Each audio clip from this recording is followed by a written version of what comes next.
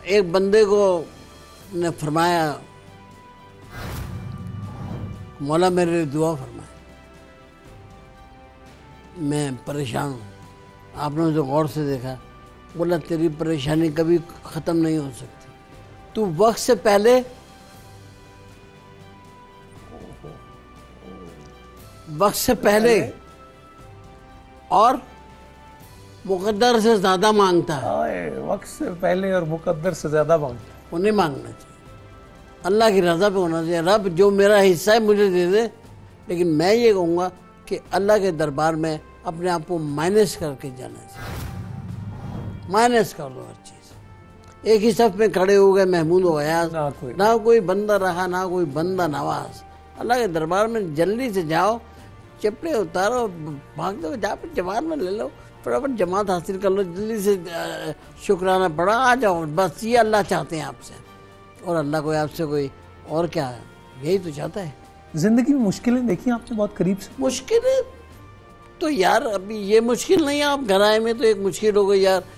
नूर हसन राना साहब और एक मुश्किल आ गई यार खुदा ही यार ये मैंने कहा ये क्या हो गई अब ये भी एक मुश्किल है आप ये कोई आसान बात तो नहीं है।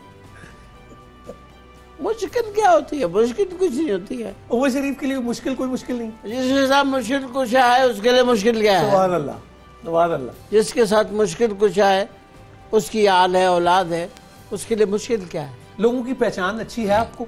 हाँ पहचान लेते हैं बंदा कौन है कहाँ से क्या बात अल्हम्दुलिल्लाह। एहसान है उसका शुक्र है।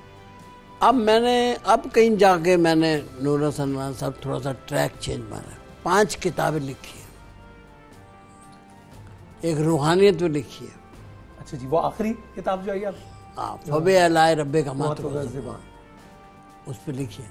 अल्लाह पे मैंने लिखा है कि अल्लाह की क्या क्या नेमतों से हम को उसने मुस्तफ़ीज़ किया है और हम किस किस नेमत का शुक्र कर रहे हैं। ठीक। क्या हमें पता भी है कि नहीं क्या वो हमें पता भी वही नेमत है? ठीक। ठीक। फिर एक मेरे ड्रामों का मजमुआ है फिर अफसानों का मजमुआ है फिर शायरी का मजमुआ है शॉर्ट स्टोरीज है पाँच किताबें तैयार हो गई किताबें प्रिंट हो गई हैं। अब एक एक उसकी एनोग्रेशन लगा रहा हूँ।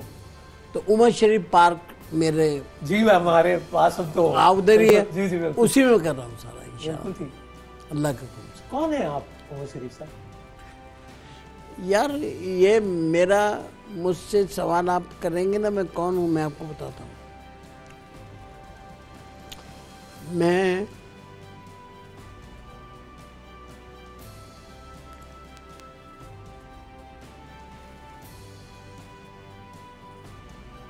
एक बात से घबराता हूँ बस। कबर से घबराता कबर। कबर जो है ना कबर इंसान का किरदार बताती है। कबर इंसान का किरदार होता है। किरदार बताती है।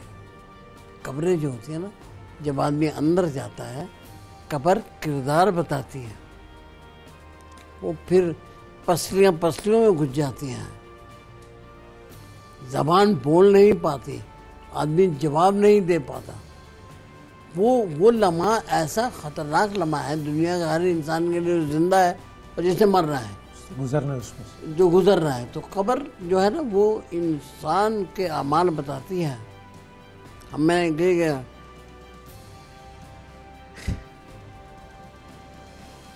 कब्र में इंसान जाता है जब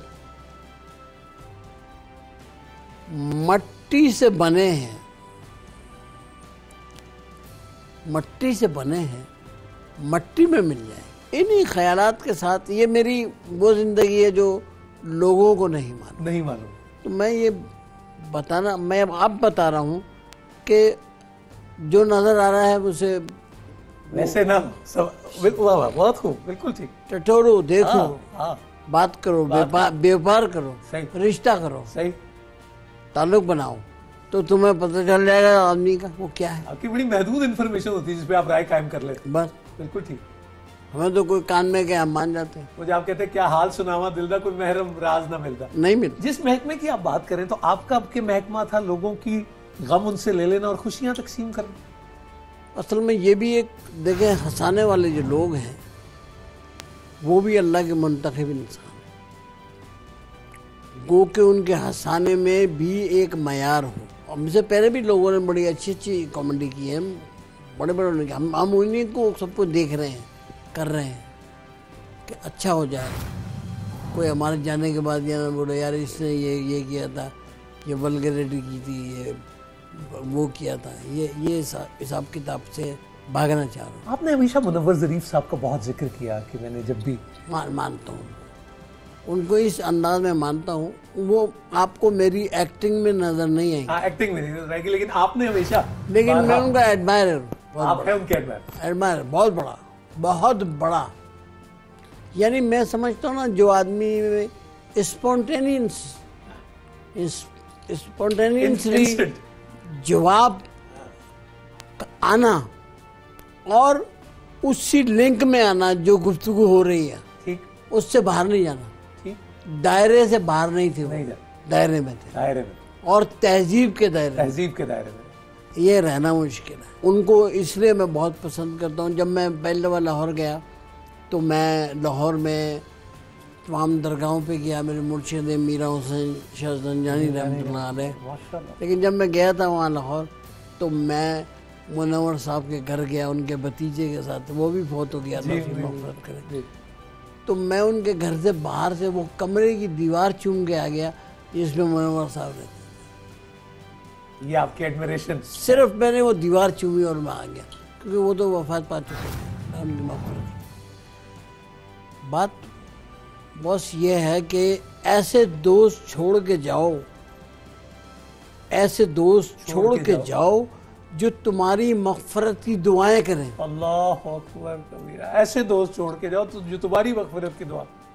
क्योंकि पीछे रह जाने वाले जो ज़िंदा लोग हैं वही तुम्हें इस जंजाल में से निकाल सकते हैं।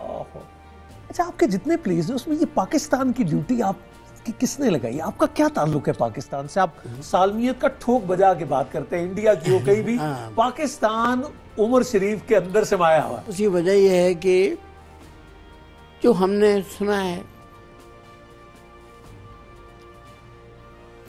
लोग बेतहाशा शहीद हुए बेघर हुए हिजरत हुई। हिजरत हुई और उस हिजरत में सब तहस नहस हो गया। तो